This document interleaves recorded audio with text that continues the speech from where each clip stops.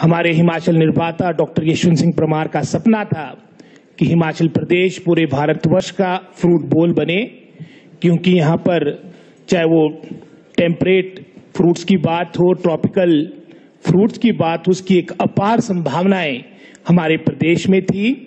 उन्हें पता था कि यहाँ पर आपके सीमित, आपके खनिज पदार्थ है, मिनरल वेल्थ है और इंडस्ट्रियल सेक्टर का भी एक सीमित क्षेत्र में ही विकास हो सकता था और हमारे प्रदेश में लगभग 60 से 70 प्रतिशत लोग कृषि क्षेत्र से संबंधित है।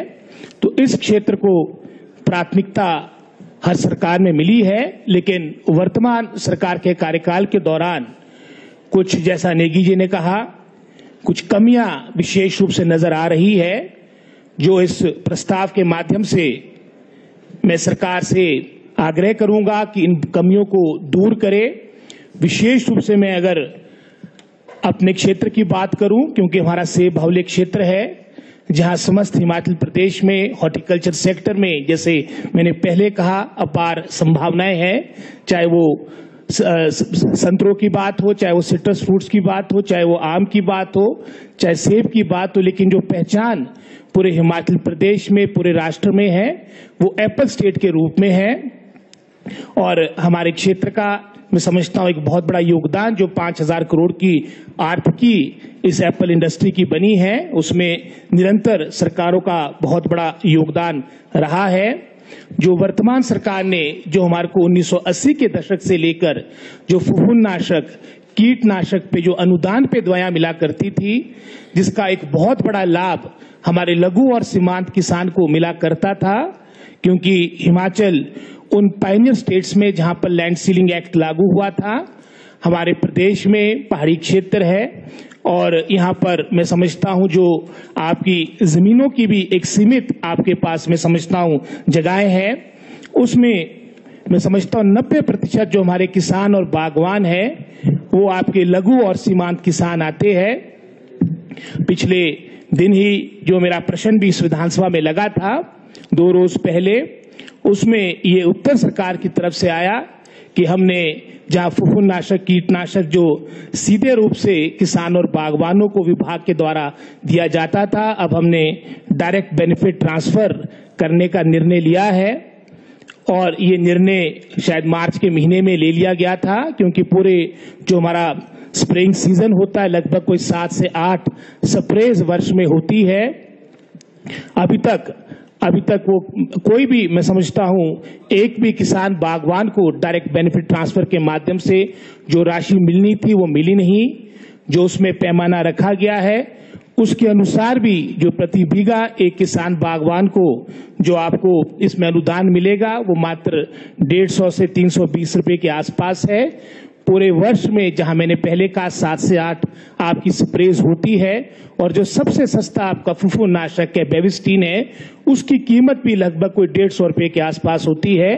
अगर हमने एक स्प्रे भी करनी हो तो उसमें भी मैं समझता हूँ, काफ़ी उसमें पैसा लगता है। और इसके माध्यम से मैं समझता हूँ तीन सौ रुपए में क्या स्प्रे होगी, आप खुद समझ सकते हैं। आप खुद बागवान है, मेरा इसमें यह सुझाव रहेगा। ये डीबीटी की स्कीम भी जब तक ये लागू नीति चलती रहे और माननीय मुख्यमंत्री ने जब पीछे ये उपचुनाव हमारे क्षेत्र में हो रहे थे, उन्होंने भी इस निर्णय को जनहित में, किसान और बागवानों के हित में रिव्यू करने की घोषणा की थी। अब तो वैसे भी आपका पूरा जो स्प्रे का सीज़न है, खत्म हो चुका है। अगले साल फिर प्रारंभ होना है। हमारा यही मांग रहेगी कि पुनः, जैसे पहले आपको डायरेक्टली हॉर्टिकल्चर विभाग द्वारा फुफुनाशक कीटनाशक मिला करता था, वो भी उपलब्ध हो। और जब तक आपकी ये डीबीटी स्कीम पूर्ण रूप से लागू ना हो, तब तक की व्यवस्था बनी रहे। क्योंकि जो मैं समझता हूँ, इसमें भी एक जो लिमिट रखी, जैसे मैंने कहा, तीन सौ रुपए के आसपास का अनुदान मिलेगा। और मैं दावे से इस बात को कहता हूँ कि हिमाचल प्रदेश में अधिकतर जो आपके किसान बागवान है और विशेष रूप से मैं अगर अपने से बाहुल्य क्षेत्र की बात करूँ लगभग 50 परसेंट से आज, आ, के आसपास आप कैसे बागवान होंगे जिनकी जो आपकी ज़मीन की सीमा होगी वो पाँच बीघे से कम होगी। तो हमें मैं समझता हूँ इसको भी पुनः इसका रिव्यू करने की आवश्यकता है। साथ ही साथ हमारे क्षेत्र में सीए स्टोर स्थापित हो।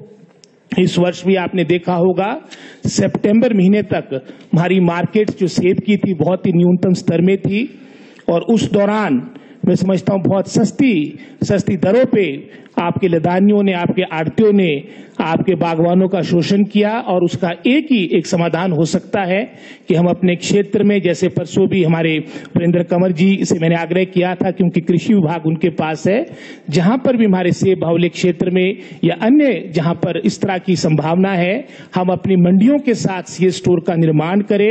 इस समय की आवश्यकता है। खड़ा पत्थर हमारा बहुत सेंट्रल लोकेटेड जगह है और एपिडा के माध्यम से जो तीन सी स्टोर सेक्शन हुए थे चुरा में, पतली कूल में, खड़ा पत्थर में जिसका एमओयू भी साइन हो गया था उसमें से दो का उसकी स्वीकृति मिल चुकी है लेकिन अभी तक ये खड़ा पत्थर का आपका लंबित पड़ा है। इसमें भी मेरा आग्रह रहेगा सरकार से इस, इसको भी शीघ्र अतिशीघ्र इसकी भी स्वीकृति प्राप्त हो। ज़मीन की कोई समस्या नहीं है। फंड्स वैसे भी हमारे बहुत से प्रोजेक्ट्स आ रहे हैं। हम अपने नबार्ड के माध्यम से भी सी स्टोर की फंडिंग कर सकते हैं। अगर विधायक प्राथमिकता भी उसमें लगती क्योंकि सीए स्टोर का भी जो कार्य होना है और ग्रामीण क्षेत्र के आधारभूत ढांचे को सुदृढ़ करने के लिए होना है। ये एक माध्यम हो सकता है। आपके ग्यारह करोड़ के हॉर्टिकल्चर प्रोजेक्ट के माध्यम से आपके नए तीन सी स्टोर लग रहे हैं, चाहे वो रिकॉन्ग की बात हो, चाहे वो हमारे थुनाग मंडी की बात हो, हमारे चंबा में भी एक सी स्टोर लग रहा है। और ये इसी तरह से हमारे खड़ा पत्थर और भी जो हमारे ऐसे क्षेत्र है, अणु है, बागी है, जहाँ पर पहले इस ओर काम किया गया है। आप इस ओर काम करें।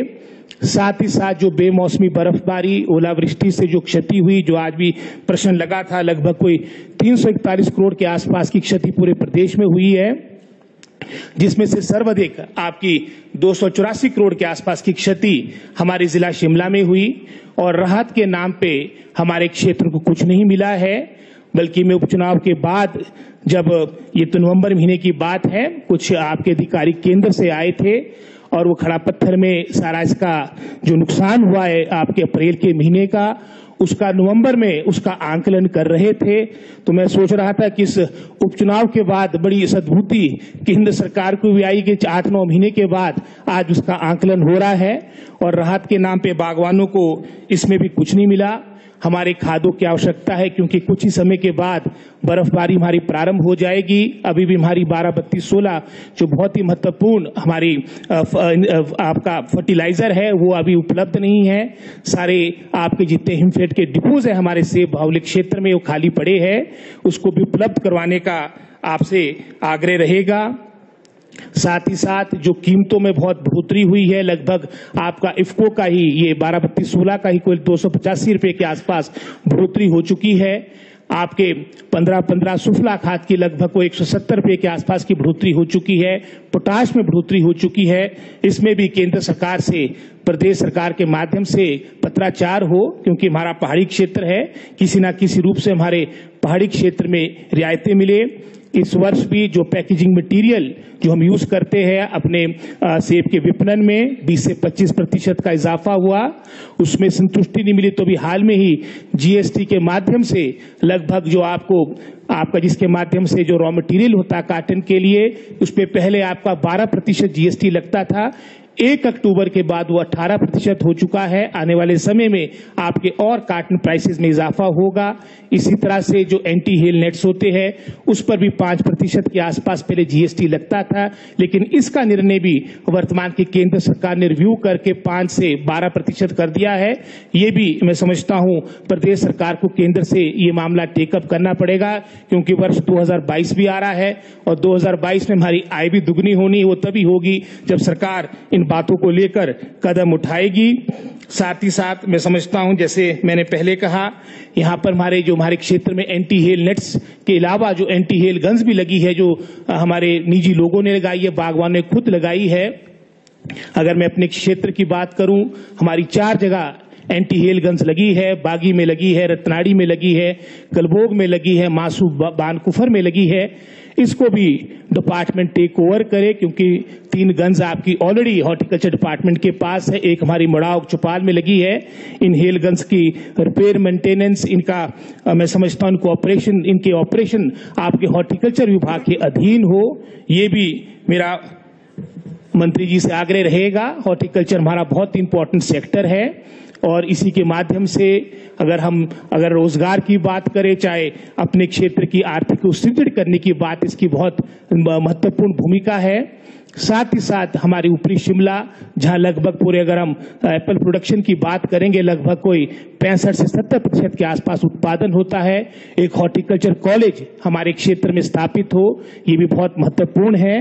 और पहले जैसे हमारे वरिष्ठ माध्यमिक पाठशाला में हॉर्टिकल्चर सब्जेक्ट आपको पढ़ाया जाता था, वो भी बंद हो गया है। उसको पुनः प्रारंभ करना बहुत ज़रूरी है, क्योंकि हर व्यक्ति को सरकारी रोज़गार मिले ये संभव नहीं, और हमारे क्षेत्र में एक विकल्प बहुत अच्छा बन चुका, बल्कि चुनाव के दौरान हमारे एक वरिष्ठ पत्रकार आए थे, वो पूछ रहे थे कि आपके क्षेत्र में पलायन की समस्या नहीं, क्योंकि हमारे साथ लगता क्षेत्र उत्तराखंड का है, वहाँ पर गाँव के गाँव के लोगों ने पलायन कर दिया है, मात्र वहाँ बेचारे बुज़ुर्ग लोग हैं।